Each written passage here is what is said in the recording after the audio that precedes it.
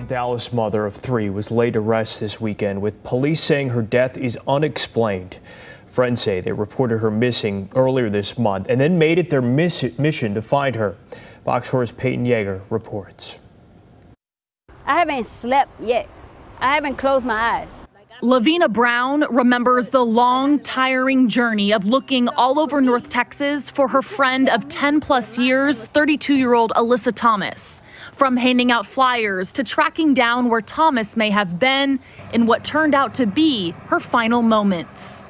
I had flyers all over Dallas. On every gas station pump, when you pull up, you're going to see her. Sunday afternoon, Brown met us at the spot in South Dallas where she says she and a group of friends found Thomas's body during their own search two weeks ago. Now a cross and flowers are left behind. And I want to know what happened to her. I want to know why. Brown says the last time she spoke to Thomas, a mother of three, was September 29th. By October 3rd, Thomas had been reported missing to Dallas police. Brown says Thomas borrowed her roommate's car that weekend, so Brown and others tried to retrace Thomas's steps using location data from the car, searching remote locations in Mansfield, Rowlett, Garland, and Dallas. From the 3rd, 4th, 5th, 6th of October. By the 6th, we got a call stating that they located the vehicle. The borrowed white Kia had been sitting at an impound lot since October 4th. Brown says she learned the vehicle had been towed from an address in Addison. So Brown and her friends were able to view security video from the area on the night the Kia was towed.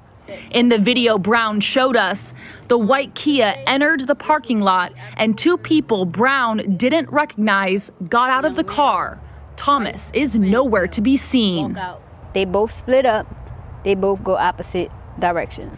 At this time, Thomas's body still hadn't been found until October 15th. Brown and a group of friends searched a vacant lot off Cedardale Drive near I-20 in Bonnieview, one of the last locations where the white Kia was pinged. And I just froze. Brown found Thomas's body with barely any clothes on a mile back in the brush. The medical examiner confirmed it was Alyssa Thomas, but her cause of death is still pending. Dallas police say they're investigating this case as an unexplained death. I just want justice for Alyssa. I'm not going to stop till we get justice for Alyssa. Peyton Yeager, Fox 4 News.